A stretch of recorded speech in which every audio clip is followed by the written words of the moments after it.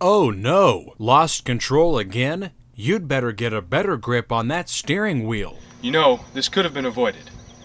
Vehicular mishandlings like this are the leading cause of accidents in the United States. Hi, I'm child star Mark-Bryce ValJohnson, and for the next 82 seconds, we'll be taking a look at the simplest way to improve driver safety on the U.S. roads and highways. Did you know that nearly 100% of drivers wear the wrong type or no hand protection at all?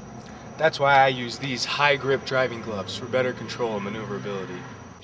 Before I got my high grip driving gloves, I was experiencing blisters, wheel slips, and paying nearly a half a million dollar insurance policy.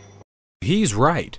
Most drivers in the United States grip the steering wheel with nothing but their bare hands. Using a pair of high grip driving gloves decreases your chance of accident and increases the level of excitement. Now, I've really got a high grip on things.